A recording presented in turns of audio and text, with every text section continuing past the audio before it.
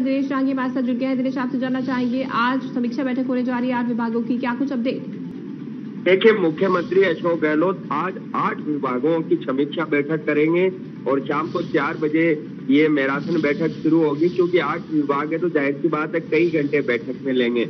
और इन विभागों से जुड़ी बजट में जो एक साल का वित्तीय वर्ष होता है, वो घोषणाएँ या दोनों बजट में कितनी घोषणाएँ जो की थी कांग्रेस सरकार ने, वो अब तक कितनी पूरी हो चुकी है, कितनी पाइपलाइन में और बाकी की क्या स्टेटस रिपोर्ट है? इसके अलावा सत्ता में आने से पहले एक घोषणा पत्र में वादे किए थे, वो अब तक कितने पूरे हो गए अलग अलग विभागों में और इन आठ विभागों में?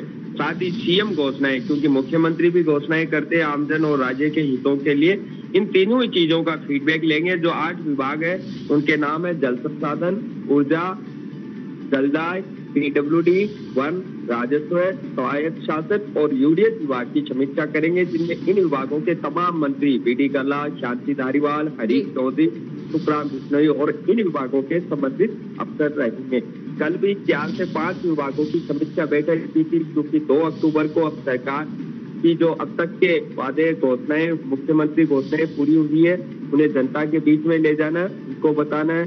दिसंबर में सरकार की दो साल की सालगिरह पूरी होनी है तो अब तक गहलोत सरकार ने क्या किया है?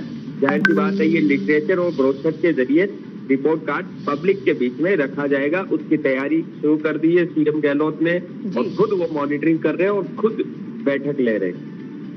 तमाम अपडेट के लिए दिनेश बहुत बहुत धन्यवाद।